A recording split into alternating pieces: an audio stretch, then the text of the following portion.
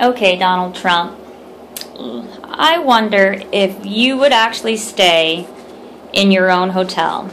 I am at your Trump Taj Mahal Hotel in Atlantic City, and here is problem number one. Your sink does not stop dripping. I tried to turn it off. As you can see, I'm turning it counterclockwise for some reason, but it won't tighten. So if I, as you can see that way, it is on, and this way, no matter what I do, it does not stop dripping.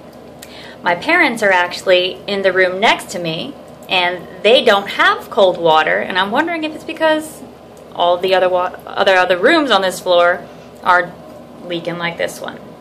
Okay, problem number one. Problem number two, when we got in here, there was hair in the tub, hair on the floor, just, it wasn't cleaned properly.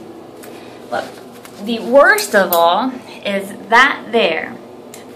That's blood. And that's on the back of the bathroom door.